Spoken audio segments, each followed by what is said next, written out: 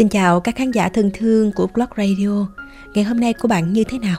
Cho dù vui vẻ hay là lo âu, dẫu có thế nào thì cũng hy vọng bạn của ngày hôm nay sẽ là phiên bản tốt hơn của ngày hôm qua nhé.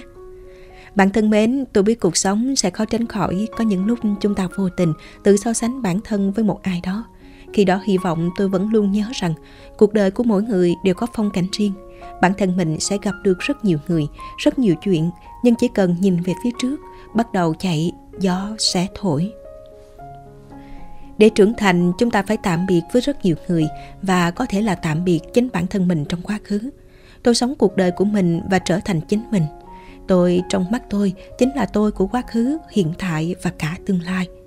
Tác giả Simon Eckhart đã từng nói, lịch sử của tôi định nghĩa tôi là ai. Có lẽ trưởng thành chính là bạn cần bạn hơn bất kỳ ai trên đời này, cần bạn và bạn là người duy nhất có thể xoa dịu, lắng nghe, thấu hiểu và lau đi nước mắt cho chính mình. Tôi trong mắt tôi có lẽ là những gì tôi phải trở thành và cũng là lúc nhìn lại chính bản thân mình, sống thật với cái tôi của mình. Mỗi người đều có cái nhìn khác nhau về bản thân.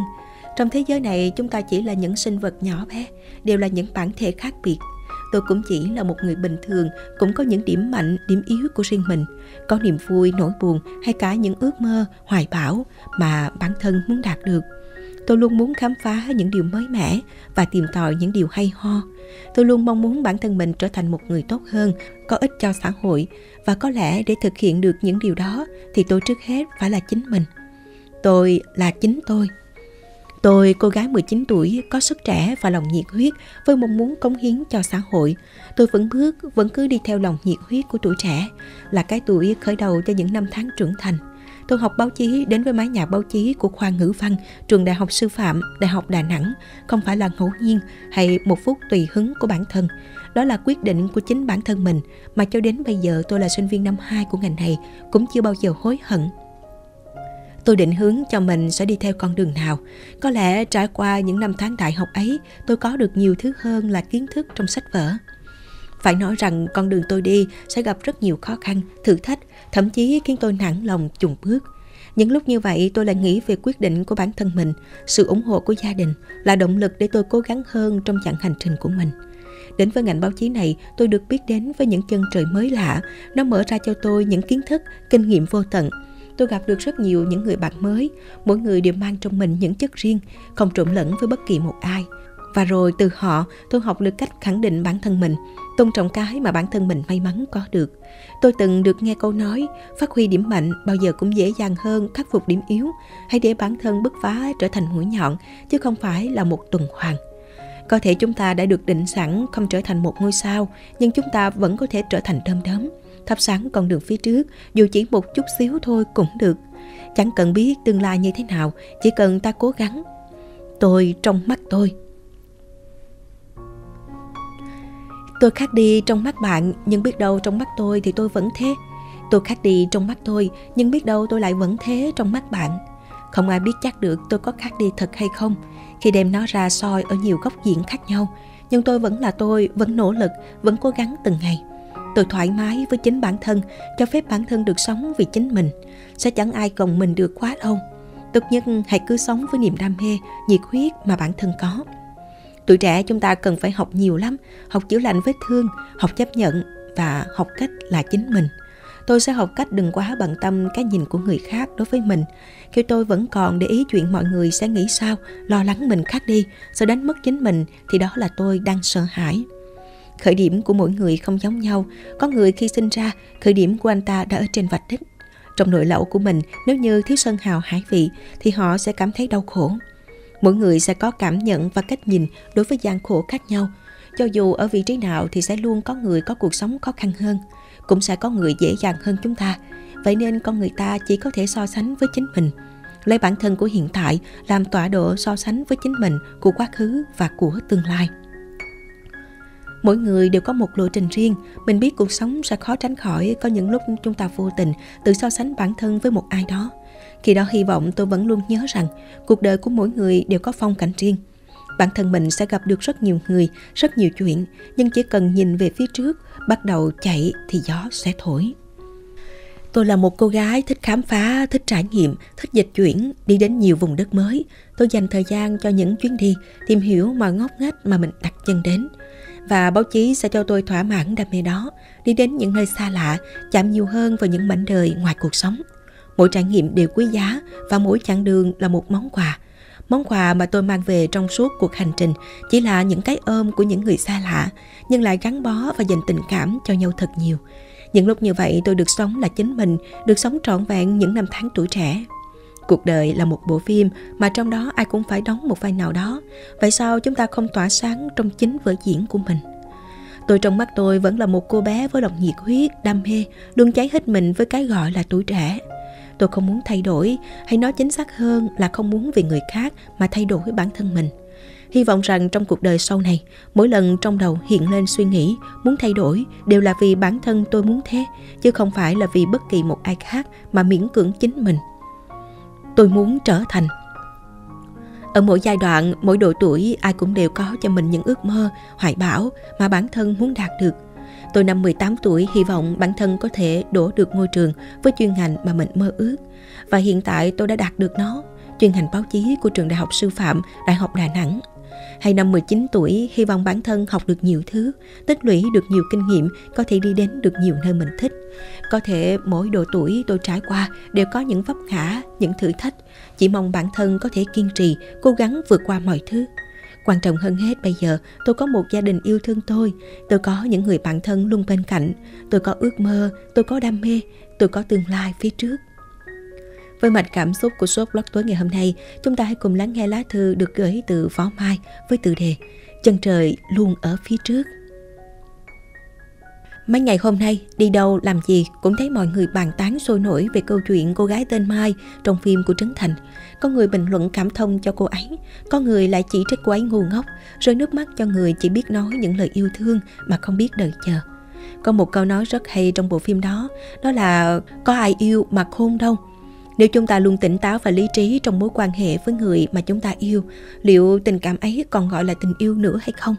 Ngoài trừ những vụ lợi hay những toan tính trong tình yêu, tất thảy mọi tình cảm tốt đẹp trên đời này đều xuất phát từ những cảm xúc chân thật nhất. Tiếc rằng bằng cách này hay cách khác, chúng ta lại phải lựa chọn rời bỏ hay bước sang một rẽ ngã khác, chẳng còn bóng hình ấy ở hiện tại. Nó nằm ở nơi sâu thẳm nhất của trái tim và cứ thế theo thời gian dần bị xóa nhòa bằng hai chữ ký ức. Em và anh quen nhau ngày còn là những cô cậu sinh viên mới ra trường, bỡ ngỡ và lạ lẫm với môi trường làm việc mới. Chẳng hiểu từ bao giờ tình thương lại thành tình yêu và gắn bó với nhau những tháng ngày còn tay trắng. Dần dà vật chất chúng ta ngày càng nhiều hơn nhưng mà tình cảm của chúng ta ngày càng phai nhạt dần. Theo năm tháng, anh cảm thấy em đã chẳng còn điều gì mới mẻ. Anh cần có những cảm xúc mãnh liệt hơn trong cuộc sống. Và điều gì đến phải đến, em lựa chọn buông tay anh với tất cả những cảm xúc vỡ vụn. Một cuộc hôn nhân đổ vỡ là những cảm xúc vỡ tan thấm sâu vào tâm can của mỗi người. Dù có đi về đâu và phải mất bao lâu đi nữa thì những ký ức ấy mãi hằng theo năm tháng trải dài đến cuối cuộc đời. Nếu thời gian có thể quay trở lại, em chỉ ước ao bản thân làm được hai điều. Một là yêu bản thân mình nhiều hơn và hai là yêu anh ít hơn. Tình yêu là điều tuyệt vời nhất mà cuộc sống này ban tặng cho tất cả chúng ta. Yêu không bao giờ sai, chỉ là do ta lựa chọn cách yêu sai người. Thổi đầu mới yêu, ta đừng vội nồng nhiệt với gia đình anh, với người thân của anh. Đừng tỏ ra mình mạnh mẽ, chịu đựng cam chịu mọi khó khăn. Hãy cứ sống và hãy cứ làm mình thôi. Để nếu có một ngày mất nhau, người ấy sẽ chẳng thấy hụt hẫng và nghĩ rằng ta đã đổi thay. Những lúc buồn đau và mệt mỏi, lúc được nằm trong vòng tay người ấy, xin hãy trút bỏ hết những trăn trở và nói ra những điều thật lòng nhất. Để làm gì bạn có biết không? Để những suy nghĩ vu vơ và những niềm khắc khoải được xé chia, để những nỗi lo âu được người yêu thương ta vỗ về. Đừng để sự im lặng tạo ra khoảng cách dần kéo dài một cuộc tình mà ta đã đặt trọn niềm tin. Thỉnh thoảng đi qua những con đường, góc phố mà ta đã từng qua, em lại thổn thức những ký ức có chút hoài niệm về những điều ta đã làm và tự nhủ. À thì cuộc sống không đàn ông vẫn sẽ tốt thôi. Lựa chọn rời xa một người chưa bao giờ là điều dễ dàng. Rồi theo thời gian, mọi thứ sẽ dần phai. Rồi anh và em, chúng ta sẽ lại bắt đầu một cuộc sống mới, một chân trời mới với những niềm vui mới. Chỉ khác rằng sau niềm vui ấy luôn khắc khoải những ký ức chẳng thể xóa nhòa về một thời tuổi trẻ đã từng yêu và từng hết mình vì nhau. Tình yêu trong em là ngọn lửa không bao giờ dập tắt, chỉ là không cháy bỏng như lúc chúng ta còn bên nhau. Nó vẫn mãi ở đây, một góc nào đó trong trái tim thổn thức. Và em tự nhủ với bản thân rằng, rồi mọi buồn đau cũng sẽ sớm qua đi. Em sẽ cố gắng gấp 100, gấp 1000 lần để bước tiếp trên chặng đường phía trước. Hẹn gặp lại anh ở một cuộc sống khác, một thời điểm khác. Tiếp nối số blog này, mời quý thính giả của blog radio chạm cảm xúc với bài viết của độc giả Crockley với tựa đề Hãy giữ vững đam mê của bạn nhé. Tôi không dám đảm bảo làm theo ý muốn, đam mê là tất cả và đúng nhất, nhưng tôi nhận thấy việc chúng ta tôn trọng và giữ vững đam mê, sở thích của mình là một trong những bước đệm để phát triển sau này. Đam mê là hai chữ tồn tại và đi theo con người suốt đời. Đam mê là những điều bạn muốn làm, bạn yêu thích và bạn trân quý nó. Nó cũng giống như một người bạn thân giúp ta khám phá ra thế mạnh, năng lực tiềm ẩn ở bên trong. Tôi có một người bạn, cậu ấy cực kỳ thích vẽ và mong muốn trở thành một họa sĩ du ngoạn khắp thế giới. Nhưng cậu ấy luôn che giấu niềm đam mê của mình. Đến khi lựa chọn ngành học, cậu ấy lại chọn ngành marketing. Tôi có hỏi cậu ấy, này không phải cậu rất muốn trở thành họa sĩ sao? Tại sao lại chọn marketing? Ánh mắt cậu ấy rất buồn. Gia đình tớ không thích tớ suốt ngày vẽ vời, họ muốn tớ học marketing. Tôi thực sự rất tiếc cho tài năng của cậu ấy. Cuối cùng cậu ấy học marketing theo mong muốn của gia đình. Vì học trong ngành mình không yêu thích, sau khi tốt nghiệp có ấy chán nản và khó khăn trong việc tìm kiếm việc làm. Còn bạn thì sao? Bạn có đang theo đuổi đam mê của chính mình không? Trong một khoảnh khắc nào đó, bạn sẽ nhận ra đam mê đã đưa bạn đến vùng đất kỳ diệu mà trước đây bạn chưa có cơ hội được đặt chân đến. Một thế giới mới dần mở ra trước mắt bạn. Vì sao ư? Đơn giản thôi, khi bạn có đủ dũng khí băng sông lội suối, vượt qua hàng rào đầy gai góc thì bạn sẽ đứng trên đỉnh núi của riêng mình, kiêu ngạo ngước nhìn về phía trước. Hãy tưởng tượng rằng bạn bị lạc trong một khu rừng chỉ có bóng tối, không có lấy một chút ánh sáng nào. Khi đó bạn sẽ làm gì? Bỏ chạy, mặc kệ mọi thứ và dần chết mòn hay sống luôn trong rừng. Sẽ có người chọn cách bỏ chạy vô phương vô hướng, cứ chạy mãi mà không biết mình đang chạy đi đâu.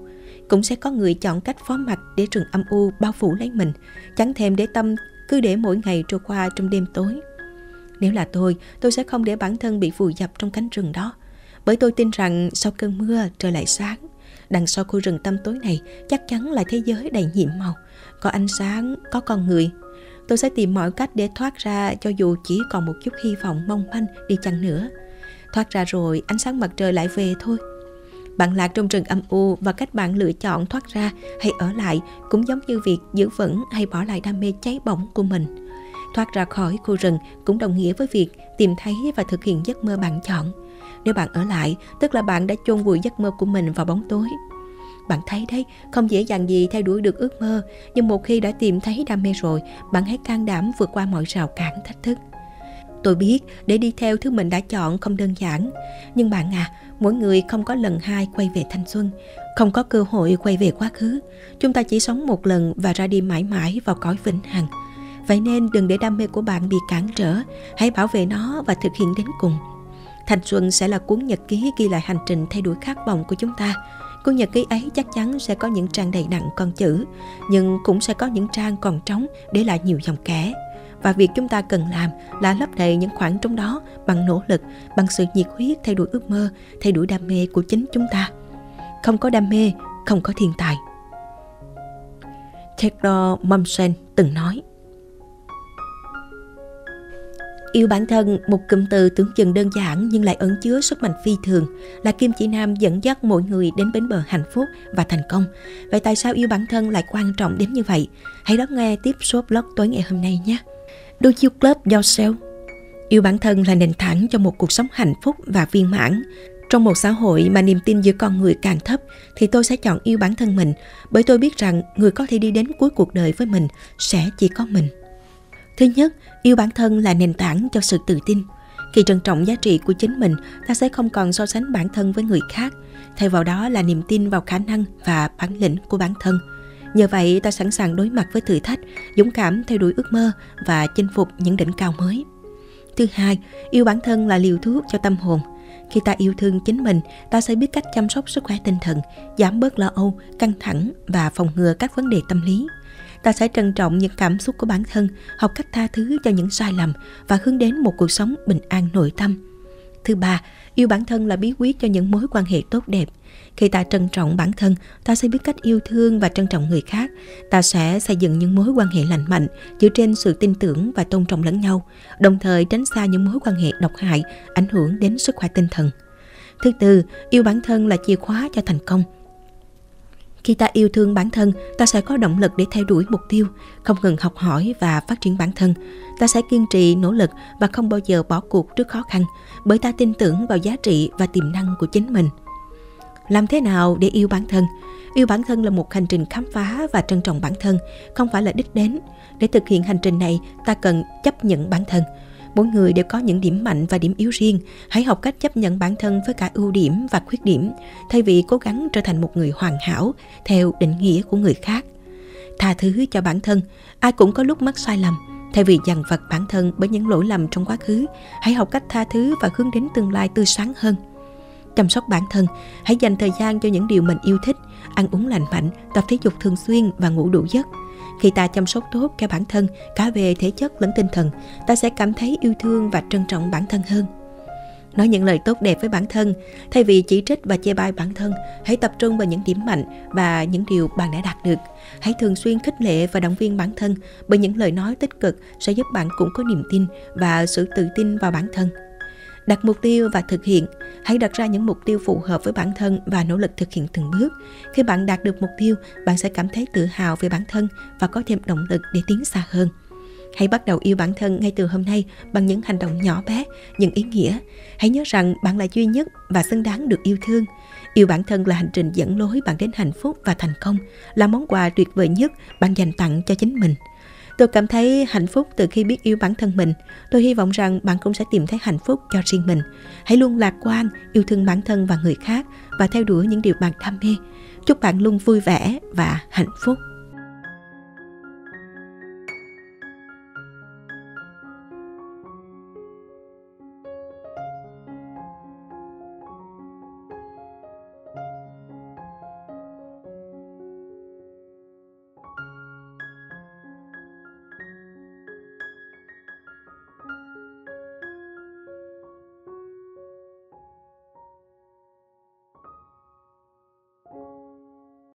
Bạn biết không, kỳ thực, thời gian chẳng có tác dụng gì cả. Nhưng thời gian cho phép bạn được dũng cảm đương đầu với nỗi đau, kiên trì vỗ về tâm hồn mình bằng tất cả xúc cảm chân thật nhất. Sau đây mời bạn lắng nghe Radio Tâm Sự Yêu lấy vận mệnh của chính mình Mấy năm gần đây, bản thân luôn bị ám ảnh bởi ý nghĩ cả thế giới đang quay lưng với mình, cả công việc, chuyện học hành, đời sống cá nhân lẫn những dự định tương lai. Những ngày tưởng chừng như cô đơn đến cùng cực ấy, bản thân lắm lúc đã tưởng tượng đến một kết thúc chẳng mấy sáng sủa, rằng mình sẽ bỏ đi đến một đất nước thật xa xôi nào đó, rằng bản thân sẽ viết đơn xin nghỉ phép, chấm dứt công việc ở nơi chính mình chẳng mặn mà gì ấy mà đi chơi thỏa thích, quên cả dự định sắp tới. Có những buổi sáng mang theo tâm trạng nặng nề ấy, bước chân vào lớp thấy thế giới chung quanh mình thật tồi tệ. Trời vẫn đẹp, hoa vẫn tươi, chim chóc vẫn say mê với những khúc hoang ca.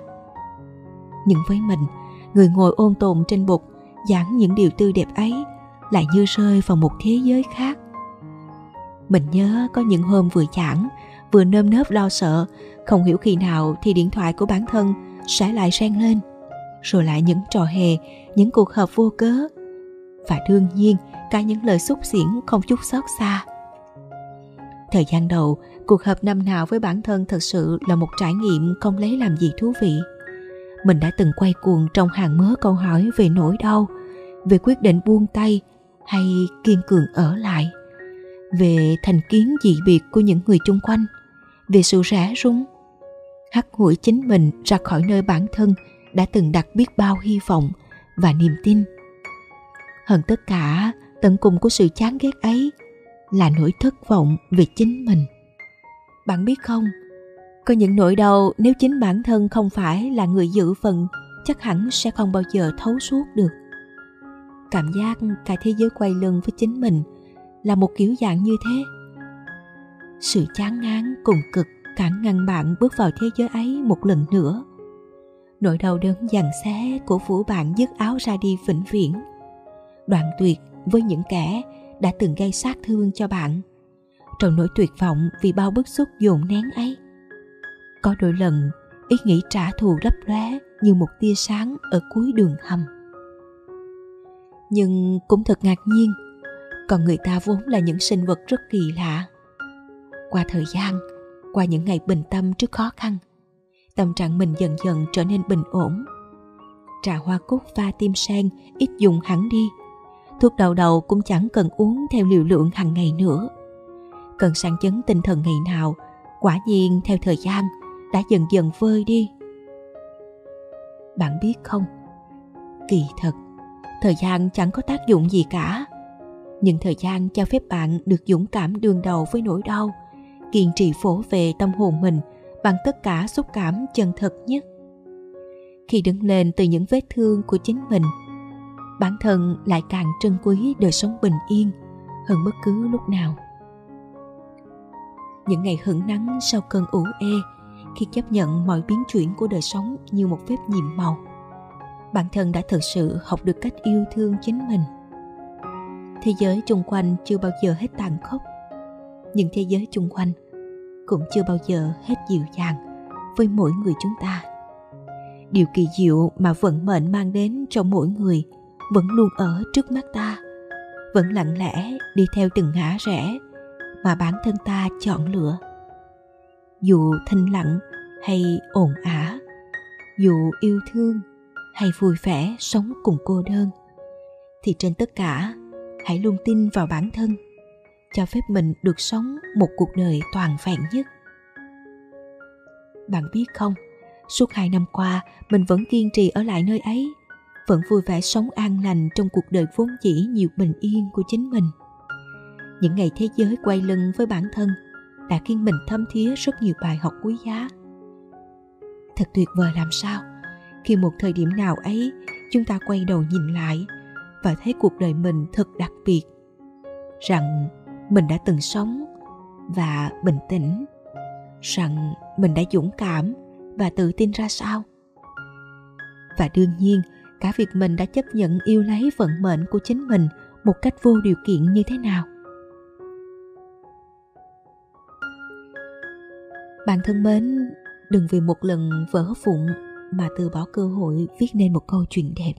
Đừng vì một lần va vấp mà chối bỏ cả một hành trình dài mong cho chúng ta luôn có thể kiên cường, hàn gắn lại những vết nứt của bản thân, để ngày một hoàn thiện, trưởng thành hơn. Mời bạn lắng nghe tâm sự. Hãy luôn kiên cường, hàn gắn những vết thương, để ngày một trưởng thành. Ở nhật bản, khi một đồ vật bị vỡ, thay vì vứt bỏ đi, thì họ dùng vàng để hàn gắn lại các vết nứt. Họ luôn tin rằng một vật sẽ trở nên đẹp đẽ hơn nếu mang trong mình một câu chuyện về việc đã từng vỡ vụn chúng ta ai cũng sẽ từng làm vỡ đi một cái gì đó, nhưng chọn lựa vứt bỏ hay hàn gắn lại tùy thuộc vào mỗi người. Một thứ đã từng vỡ vụn có thể sẽ rất xấu xí, nhưng cũng có thể trở nên đẹp đẽ hơn từ những vết nứt. Có những khó khăn, những giai đoạn tưởng chừng như sẽ buông bỏ, những sai lầm trong quá khứ mà mỗi chúng ta không thể nào thay đổi được. Nhưng chính những điều đó lại làm nên giá trị của chúng ta ở thời điểm hiện tại. Chẳng có ai trên cuộc đời này là hoàn hảo, đổ vỡ, vấp váp, ai mà chưa từng. Nhưng cứ sống mãi trong quá khứ cũng không thể làm những đớn đau đó biến mất đi, hay làm chúng ta có thể nhẹ nhõm hơn. Càng than vãn, càng phủ nhận, bạn lại càng thêm thương tổn quá khứ đã qua, chẳng ai có thể thay đổi. Đó là một phần tất yếu làm nên chúng ta hôm nay. Có bao giờ bạn thử suy nghĩ, nếu như không có những sự việc ấy, liệu chúng ta rồi sẽ trở thành gì? Sẽ khác như thế nào? Chỉ có sự chấp nhận, soi chiếu và rút ra bài học, rồi dán vàng lên những vết nứt đó, khiến chúng trở nên đẹp đẽ, làm chúng trở thành một câu chuyện đầy cảm hứng thì những gì bạn đã trải qua mới thực sự có giá trị. Người chưa từng bị đổ vỡ sẽ không thể hiểu được đổ vỡ đến cuối cùng là cảm giác như thế nào. Nên họ thường phán xét. Nhưng đến một ngày khi bản thân tự trải nghiệm, có lẽ họ vẫn sẽ cảm thấy như chính bạn mà thôi.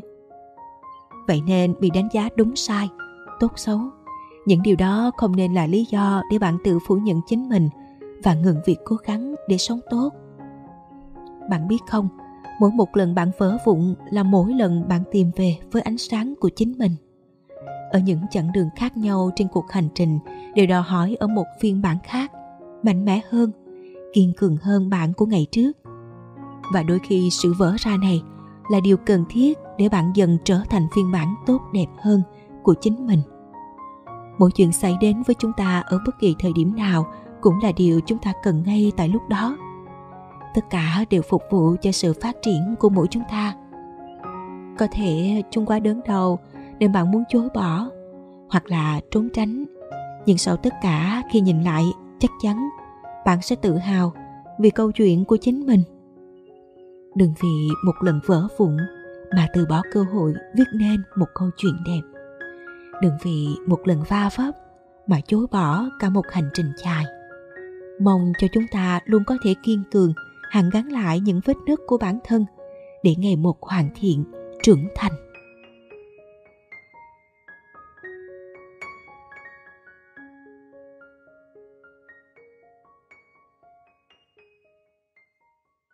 Nếu yêu thích Blog Radio, các bạn hãy nhấn like, share cũng như để lại bình luận cảm nhận của mình nhé.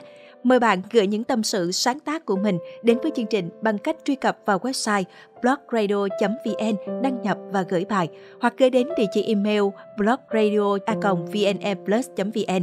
Các chương trình được cập nhật hàng tuần trên chuyên trang cũng như kênh YouTube Blog Radio. Đừng quên nhấn đăng ký và nhận thông báo để không bỏ lỡ những chương trình mới nhất nhé. Blog Radio phát thanh xúc cảm của bạn.